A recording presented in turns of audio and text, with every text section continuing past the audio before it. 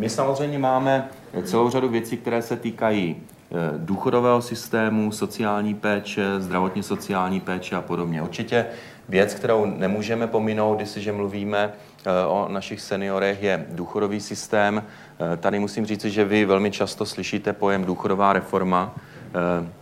Tady chci sdělit, že především pro ty z vás, kteří jsou v penzijním nebo předpenzijním věku, eh, abyste se tohoto slova v žádném případě neobávali nebo neděsili, protože penzijní reforma se bude dotýkat eh, lidí mladšího, středního a mladšího věku, když to řeknu zjednodušeně čtyřicátníků a, a mladších, vás se v žádném případě e, nedotkne e, a mimochodem její provedení je nutné právě proto, aby v těch následujících letech na ty penze bylo dost finančních prostředků, protože eh, čeští penzisté jsou i v porovnání se západní Evropou eh, mimořádným způsobem eh, závislí na státem organizovaném průběžném systému. Až 95% průměrných čistých příjmů důchodcovské domácnosti u nás pochází ze státní penze. Zatímco v západní Evropě, kde měli možnost těch minulých desetiletích naši stávající penzisté tu možnost neměli si vytvořit různé doplňkové způsoby důchodového připojištění, důchodového spoření a podobně, tak třeba tam ta státní penze tvoří jenom 70-80% toho příjmu v období penze a ten zbytek je z těch dodatečných nástrojů. A my musíme udělat podobný systém pro budoucnost, pro eh, vlastně ty, ty ročníky, které dnes, dneska ještě v penzi eh, nejsou. Přesto si myslím, že se podařila celá řada pozitivních věcí. Tady bych chtěl připomenout, že v roce 2009 eh, byla vůbec nejvyšší reálná úroveň důchodu od listopadu 89. Dosáhla 113 eh, reálné úrovně důchodu z, roku 89.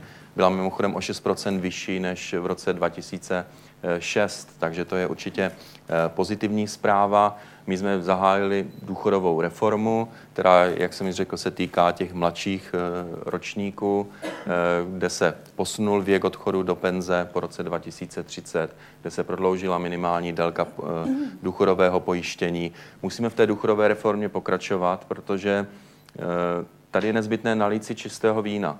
My musíme kvůli ní postupovat dál, především kvůli vám, stávajícím penzistům, Eh, abychom měli stabilní státní finance a eh, byly tady prostředky na vaše penze.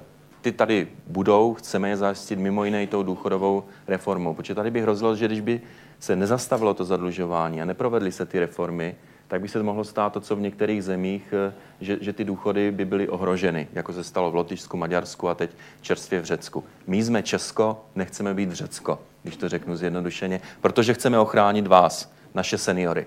Proto chceme dělat tuto stabilizaci, tuto reformu veřejných financí, abychom vás ochránili před nepříznivým dopadem těchto, těchto změn, abychom neposlali naše seniory v vozovkách do Řecka, aniž by tedy do toho Řecka opravdu ocestovali a prožili by to, prožili by to eh, tady. Za další, musíme tedy pokračovat v této důchodové reformě i kvůli tomu, že, že prostě do důchodu se bude chodit i za 10, za 20, za 30, za 40 let. Eh, stáří přece není nic neočekávaného. To je, to je věc, která prostě se týká eh, každého z nás a my musíme mít odvahu říci lidem mladšího, středního a mladšího věku, že na tu penzi musí myslet. Nenadarmo se říkalo mysli eh, na, stará kolečka Platí to i v tom penzijním, eh, penzijním systému. To znamená vytvořit širší spektrum eh, nástrojů různého důchodového připojištění, důchodového spoření, kapitálového životního pojištění, investičního důchodového investování a podobně, aby si ty mladší ročníky mohli na tu penzi ještě přispořit. S tím, že my samozřejmě vytvoříme i jeden fond, který bude státem garantovaný, kdo se prostě bojí ty prostředky dávat třeba do nějakého soukromého fondu, tak by si to převedl do jednoho fondu, který by byl státem organizovaný, státem garantovaný. Znovu opakuji, to se týká těch mladších, mladších ročníků. To, co ale považujeme za nesmírně důležité, je rozvíjet systém sociální péče eh, o naše seniory, protože ne všechno se vyřeší prostě důchodem a, a eh, ne, ne všechno prostě eh, je možné brát, jako že člověk se vždycky postará jenom, jenom sám o sebe. Tím, jak roky přibývají, zdraví se, zdraví se zhoršuje, tak samozřejmě každý potřebuje nějakou pomoc, nějakou péči. Proto my chceme rozvíjet systém sociálních služeb, sociální péče, chceme vytvořit nový systém komunitních center, které by opravdu měly na starost péči o seniory, protože pořád bude platit, že o většinu českých seniorů bude postaráno vlastně v jejich přirozeném domácím prostředí. I dneska, když jsem uvedl to číslo, že dneska 380 tisíc Eh, našich spoluobčanů starších 80 let, no tak v té institucionální rezidenční péče typu domovy pro seniory, domovy pro zdravotně postižené a podobně, tam je zhruba 50 tisíc eh, eh, našich, našich spoluobčanů penzijního věku. To znamená, že i dnes platí, že pro starší spoluobčany je nezbytné vytvořit předpoklady pro jejich péči v domácím prostředí. Proto chceme velmi posilovat eh, terénní sociální služby, ambulantní eh, sociální služby, umožnit prostě rozvoj těchto, těchto věcí, vytvořit ta komunitní centra péče o seniory, vytvořit síť eh, geriatrické péče.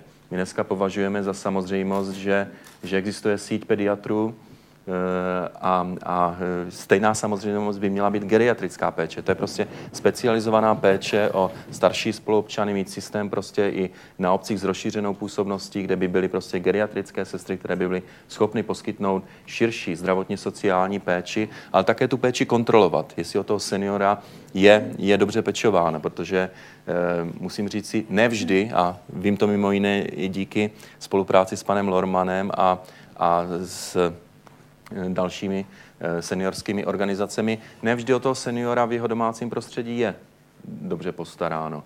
Takže i tady musí být nastolen prvek, eh, prvek určité kontroly a my chceme rozvíjet tento systém sociálních služeb a, a rozvíjet ho především tak, aby co nej, nejdéle senior mohl zůstat ve svém přirozeném prostředí, kde to zná, aby mu tam byla poskytnuta náležitá sociální, ale i zdravotní péče, protože pak už je to nezbytné velmi často eh, kombinovat a eh, aby to bylo skutečně zajištěno ve vysoké kvalitě, protože jsme prostě ve 21. Eh, století a, a ne ve století 19. nebo, nebo 20.